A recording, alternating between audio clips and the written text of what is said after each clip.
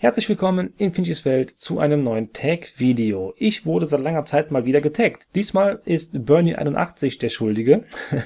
er hat ein sehr interessantes Thema ins Leben gerufen und zwar fünf Spiele, die ich eigentlich gut finde, trotzdem aber abgebrochen habe aus irgendeinem Grund. Ähm, sein Video dazu, natürlich, er hat den Tag ins Leben gerufen, findet ihr unten in der Videobeschreibung. Geht mal da drauf bei ihm, guckt euch mal auf seinem Kanal und lasst ein Abo da, Daumen nach oben, whatever. Ja, das Thema äh, Videospiele, die wir gut finden, aber trotzdem abgebrochen haben, hatte der Yetiwind vor Jahren schon mal aufgegriffen. Ich wollte immer ein Video dazu machen, hab's aber irgendwie nie gemacht. Ja, und jetzt ist Tag da und das ist eine gute Chance, das endlich mal zu tun. Denn es gibt tatsächlich einige Spiele, die ich sehr gut fand, aber trotzdem nie zu Ende gespielt habe. Ich könnte da quasi die Hälfte von meinem Spieleregal nennen. Aber ich habe mich jetzt mal auf einige Spiele reduziert und wir fangen jetzt einfach mal an. Das Ganze ist keine besondere Reihenfolge oder so. Also nicht irgendwie, keine Ahnung, der eine Rangliste oder so ein Gedöns. Ich werde einfach die fünf Spiele so nennen. Und wir fangen an mit Zelda Skyward Sword.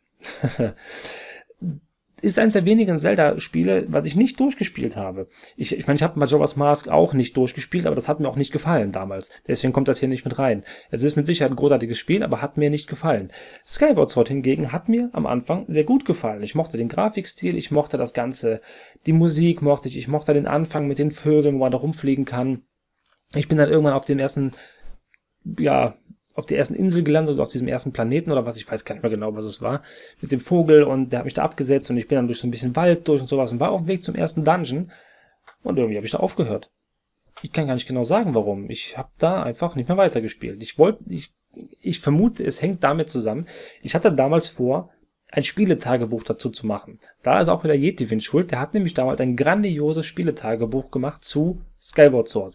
Nur hatte er halt das, ähm, ja, hatte damals die Möglichkeit, das Ganze innerhalb von, ich sag mal, ein, zwei Wochen durchzuziehen, hat einfach die ganze Zeit aufgenommen und hat das dann in ein Video gepackt, was 20, 25 Minuten ging. Ich hätte, kann ein Zelda nicht in zwei Monaten durchspielen wahrscheinlich. Das ist bei mir immer so ein Mega-Projekt, solche Spiele. Und ich wollte dann mehrere kleine Tagebücher dazu machen. Ich habe das dann angefangen, hatte schon die ersten zusammengeschnitten und so ein Kram.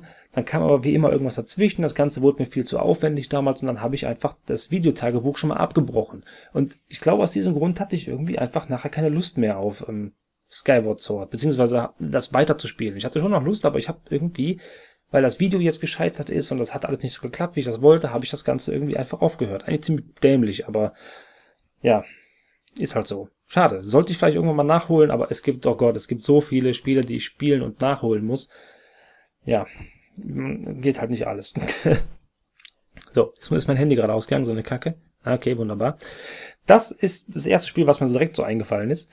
Dann kann ich als nächstes nennen alle Far Cry Spiele. Ich habe bisher jeden Far Cry Teil, außer Teil 2, angefangen ich habe auch, glaube ich, ja, Far Cry 1 habe ich nicht selber hier, habe ich aber damals mal gespielt. Dann habe ich das irgendwann abgebrochen, weil es halt der Shooter war und mir nicht gefallen hat. Dann habe ich Teil 2 deswegen nicht gespielt. Teil 3 habe ich dann irgendwann mal bei dem Ben, beim Angry Gamer, gewonnen. Er hat mir das dann zukommen lassen, den Code für den PC. Und das habe ich angefangen, fand es auch ziemlich geil. Von dem, der Bösewicht war super, war's, war es ja damals. Dann ähm, die ganze Welt sah super aus, die Grafik war fantastisch aber irgendwann ging es mir auf den Sack, auf der Insel rumzugurken und äh, ja, Open World Geballer. Das mochte ich irgendwie nicht, keine Ahnung. Dann kam irgendwann Far Cry 4 raus. Da habe ich gedacht, ah, das sieht schon geil aus. Das Setting gefällt dir auch viel, viel mehr als ähm, dieser blöde Dschungel, diese Insel mit dem Dschungel. Das ist im Himalaya oder wo es spielt. Ich glaube ja, da irgendwo da oben, auf jeden Fall in den Bergen. In, Im Kirat heißt das Ding, glaube ich. Habe ich eine ganze Weile gespielt. Weitaus länger als Far Cry 3. Habe ich aber aus demselben Grund irgendwann abgebrochen, einfach weil es ein Open-World-Shooter ist. Hat mir irgendwann, das hat mir das, das, das Spielprinzip nicht mehr gefallen. Keine Ahnung. Das, das wurde mir irgendwann alles zu groß und zu lang gezogen und wenn ich einen Shooter spiele, möchte ich einfach schnell durch, möchte ein bisschen bombardiert werden, wie es jetzt momentan bei Battlefield 1 zum Beispiel der Fall ist, das finde ich großartig, oder bei einem Call of Duty meinetwegen auch, oder ähm, was es noch alles so für Shooter gibt, keine Ahnung. Auf jeden Fall am besten Schlauchlevels, vielleicht ein kleines bisschen Open World, aber dann direkt wieder zurück und die Mission geht weiter. Das finde ich gut, aber dieses riesige offene, also riesig in Anführungszeichen offene Welt und dann rumballern und sowas alles, das war nicht so meins, keine Ahnung, da habe ich irgendwann abgebrochen. Obwohl das Spiel hat mir, wie gesagt, gefallen. Die, die Welt hat mir gefallen, der Bösewicht hat mir super gefallen mit Pagan Min oder wie er hieß. Großartig, aber, wie gesagt, einfach irgendwann abgebrochen. Far Cry Primal fand ich, war der beste Teil bisher. Hat mir bisher am besten gefallen. Ich habe sie auch Let's Played, habt ihr gesehen, fand ich sehr cool. Ich war auch gewillt, das weiterzumachen. Hatte ja auch nicht diesen Shooter-Aspekt, aber trotzdem habe ich es irgendwann abgebrochen, einfach weil zu viele Spiele rauskamen, die ich dann lieber spielen wollte. Keine Ahnung, vielleicht spiele ich es irgendwann mal für mich weiter. Das Let's Play ist aber wahrscheinlich abgebrochen, kann ich schon mal so sagen. ja, ähm, genauso kann man es fast schon sagen. GTA 4 und GTA 5. Die fasse ich auch mal so zusammen. Habe ich aber aus unterschiedlichen Gründen nicht weitergespielt. Wir fangen an mit GTA 4. Das habe ich angefangen in der Hoffnung, dass ich direkt so geflasht bin wie damals bei GTA 3 oder Vice City. San Andreas habe ich nie gespielt. Oh mein Gott, das bitte steine ich mich nicht. Sollte ich wahrscheinlich auch irgendwann mal tun, aber ist einfach zu groß zum Nachholen für mich.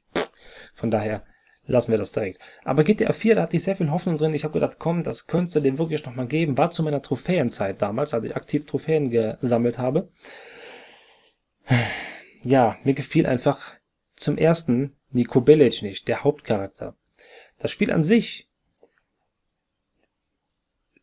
das Gameplay von den Autos war kacke und der Hauptcharakter war kacke. Alles andere fand ich genial. Es war halt wieder ein in GTA wie GTA 3, Vice City, whatever, in super Grafik.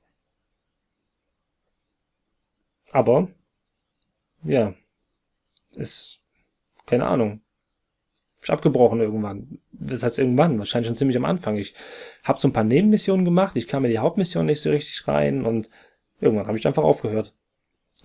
An mehr erinnere ich mich bei GTA 4 auch nicht, außer dass ich es halt gut fand eigentlich, aber Wahrscheinlich haben diese beiden Sachen, die ich nicht gut fand, mich so gestört, dass ich es irgendwann nicht mehr weitergemacht habe. GTA 5 wiederum fand ich in allen Punkten großartig. Ich fand die Story großartig, ich fand die drei Charaktere großartig, weil sie alle so unterschiedlich waren. Ich fand die Welt großartig. Ich bin über die Karte gefahren. Ihr habt vielleicht auch meinen Roadtrip gesehen, einmal um, äh, ich weiß gar nicht mehr, wie die Stadt jetzt hieß. Egal.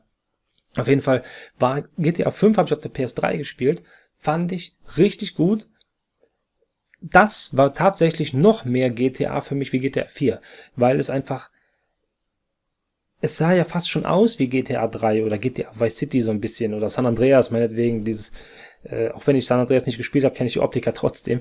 Ähm, das gefiel mir einfach vollkommen dieses Spiel und ich habe es irgendwo nicht weitergespielt. Wahrscheinlich, weil es einfach wieder zu lang gedauert hat und irgendwas anderes kam, was mich mehr begeistert hat in dem Moment. Dieses Problem habe ich momentan auch mit Dark Souls 3. Das Problem hatte ich mit Far Cry Primal. Dieses Problem habe ich mit sehr vielen langen Spielen. Das einzige Spiel in letzter Zeit oder in den letzten Jahren, was es geschafft hat, mich wirklich konstant zu begeistern, und da kamen auch neue Spiele dazu, und trotzdem habe ich das nicht abgebrochen, war The Witcher 3.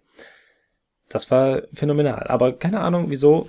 Bei mir ist das oft so, wenn ich ein Spiel wirklich gut finde, spiele es lange und zu lange, und ich bin noch nicht durch, und dann kommt was anderes, und dann höre ich auf. Keine Ahnung.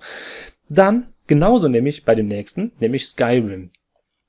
Skyrim ist im Grunde vom Setting, von der Geschichte, von dem, vom allem, was das Spiel ausmacht, ist das genau zu 100% mein Ding. Es ist, die Welt ist fantastisch, die Drachen, es gibt Drachen, es, es gibt typische Ritter, es gibt Magier, es, es ist genau mein Fantasy-Ding. Wenn ich einen Fantasy-Film gucke und dort kommt drin vor, ist der Film super ja, keine Ahnung, dieses Mittelalter-Setting einfach, das gefiel mir alles. Mir gefiel die Gameplay-Mechanik, mir gefiel die, gefiel die Welt, wie gesagt, mir gefiel alles an Skyrim, aber da war das gleiche Phänomen, dass es einfach irgendwann durch ein anderes Spiel abgelöst wurde. Schade eigentlich. Ich habe dann Skyrim irgendwann, ich habe das damals für die PS3 gekauft, auch mit dem Hintergrund wieder Platin zu holen. Da war meine, wie gesagt, meine große ähm, Trophy Hunter Zeit. Groß dann habe ich irgendwann dem Ganzen nochmal auf dem PC eine Chance gegeben. Da war es bei Steam im super Angebot für 15 Euro mit HD-Packs, glaube ich, mit den HD-Mods. Äh, die waren bei Steam schon so mit dabei, hat, konnte man so installieren, komplett fertig. Dann habe ich nochmal angefangen, bin, naja, nicht ganz so weit gewesen wie auf der PS3 und habe es aber wieder aufgehört, weil es halt einfach, ich glaube, das war die Zeit, wo auch Nino Kuni damals dann rauskam, dann habe ich das weitergespielt. Ja, Nino Kuni war auch so ein Ding, was ich komplett durchgezogen habe. Genau, das war noch, äh, das war das letzte große Spiel vor The Witcher 3, was ich durchgezogen habe. Ja. Okay, dann haben wir noch zum guten Schluss ein Spiel, was ich ähm, eigentlich gerne wirklich gespielt hätte. Ich habe mich da auf die Kampagne gefreut, auf den Multiplayer, einfach ein bisschen Gefecht machen. Die Rede ist von StarCraft 2. Ich habe mir, ich habe StarCraft 2 am Anfang nicht gespielt zur Release. Ich habe mir dann irgendwann die ähm, Collectors Box vom ersten Addon gekauft. Gibt's doch das Unboxing irgendwo auf meinem ähm, Kanal hier. Damit, mit, mit dem ersten Addon, was rauskam, wollte ich dann StarCraft 2 nachholen. Ich habe mich hingesetzt und habe mir die Kampagne gestartet. Habe mir die Kampagne gestartet. Ich bin in die Kampagne gestartet, das wollte ich sagen. Und das war richtig gut. Mir gefielen die Videosequenzen, wie immer bei StarCraft oder generell bei Blizzard. Die Videosequenzen sind immer super. Ich habe die ersten Missionen gespielt, das gefiel mir alles. Ich dachte, ja, StarCraft ist back, du bist wieder im StarCraft-Fieber. Hab dann die Kampagne kurz pausiert, hab ein bisschen Gefecht gemacht, hab dann mit einem Kumpel damals, den ihr auch letztens im Snackcheck gesehen habt, mit dem Daniel, der hat mir damals gezeigt, wie ich am besten, am schnellsten rushe und mache und welche Taktiken ich im Multiplayer habe. Dann habe ich, hat er mich irgendwann gefragt, und hast du noch ein bisschen geübt? Nee, da habe ich irgendwie abgebrochen. Ich habe es nicht mehr weitergespielt, obwohl es mir komplett gefallen hat. Und ich kann, das ist eines der wenigen Spiele, wo ich nicht sagen kann, warum, weil da gab's, das war so ein typisches Ding, was ich am PC zwischendurch spiele. Computer, also Spiele auf dem PC, haben bei mir eigentlich immer eine ziemlich hohe Chance, dass ich sie oft spiele, weil ich das immer nutze, wenn ich zum Beispiel gerade ein Video hochlade oder ich habe zum Beispiel eine Aufnahmesession von der PS4 hinter mir, habe die Sachen alle geschnitten und lade die gerade alle hoch und habe noch Zeit, dann setze ich mich hin und starte meinetwegen Diablo. Eine Zeit lang war es ja damals auch dann WoW, wo ich dann wieder gespielt habe. Ähm, keine Ahnung, jetzt habe ich mir Overwatch gekauft, das habe ich nochmal ganz kurz angefangen, aber im Grunde haben äh, Computerspiele, also die auf dem PC nur laufen, äh, eine gute Chance, dass ich sie spiele, aber StarCraft irgendwie nicht. Keine Ahnung, ich weiß nicht warum. Kann ich euch nicht erklären. Ja, kein Plan. Sehr schade. Ich sollte diese Sachen tatsächlich alle mal irgendwie nachholen. Zumindest so Skyward Sword, Skyrim und GTA 5. Das wären so die Sachen, die ich gerne wirklich nachholen würde. Aber die Zeit ist einfach zu knapp bei mir. Keine Ahnung. Dafür kaufe ich auch zu viele andere Sachen. Man sollte es vielleicht machen wie Ben Masterful, beziehungsweise hier Alf Pushen. Der kauft sich seine drei, vier Spiele im Jahr, die spielt er die ganze Zeit und gut. Das ist vielleicht manchmal der einfachere Weg und der günstigere vor allen Dingen. Aber äh, man will ja, ich will ja alles mitkriegen. Okay, das waren meine Spiele. Es waren jetzt insgesamt natürlich ein paar mehr als fünf, aber macht ja nichts. Äh, Schreibt mir gerne in die Kommentare, was für euch gute Spiele sind, die ihr gespielt habt und plötzlich abgebrochen habt. Aus irgendeinem Grund. Das würde mich wirklich interessieren, weil das Thema finde ich eigentlich ziemlich interessant. Und vor allen Dingen finde ich es interessant, warum man Spiele abbricht, obwohl sie eigentlich gut sind. Na, das hat ja meistens irgendwie immer einen Grund. Außer jetzt bei StarCraft 2 bei mir. Dann tagge ich natürlich auch noch ein paar Leute. Ich habe hier hinten meine YouTube-Abo-Liste mal geöffnet und hatte mir schon zwei Leute gerade rausgesucht. Den dritten suche ich jetzt spontan raus. Und zwar zuerst tagge ich mal den Martin von Aubanan mit dem ich eigentlich jetzt zusammen ein Video machen wollte, weil er in seiner Heimat ist und er nur ein paar Orte weiter wohnt. Allerdings hat das alles nicht geklappt. Er konnte nicht und ich hatte jetzt auch wieder ein bisschen Hantier hier, familientechnisch, deswegen leider nichts geworden. Aber deswegen tagge ich dich jetzt, lieber Martin. Und ich hoffe, du kannst uns da wieder mit einem grandiosen Video begeistern zu diesem Thema. Den nächsten, den ich taggen möchte, ist der Bambi Plattfuß. Und ob es bei ihm, ich weiß jetzt nicht, ob er auch so viele Spiele hat und spielt wie ich oder ob er nicht, ne? Da kriegt, kriegt man nicht so viel von mit. Der macht halt viele Vlogs, aber nicht so mega viel über Videospielkram. Deswegen, Bambi, bitte an dich, wenn du sie nicht zusammenkriegst, dann mach halt nur drei oder sowas. Spiele, die du gut fandest und trotzdem abgebrochen hast. Und jetzt scroll ich mal gerade durch meine Liste durch. Ja, scroll, scroll, scroll. Den Animatiker, den tagge ich noch. Genau, ich glaube, der ist nämlich noch nicht getaggt worden. Wenn doch, dann tut's mir leid. Okay, ich hoffe, das Video hat euch ein bisschen gefallen. Wenn's äh, so war, dann lasst einen Daumen nach oben da. Schreibt mir in die Kommentare, wie das bei euch mit den Spielen so aussieht. Ansonsten würde ich sagen, sehen wir uns beim nächsten Mal. Tschüss.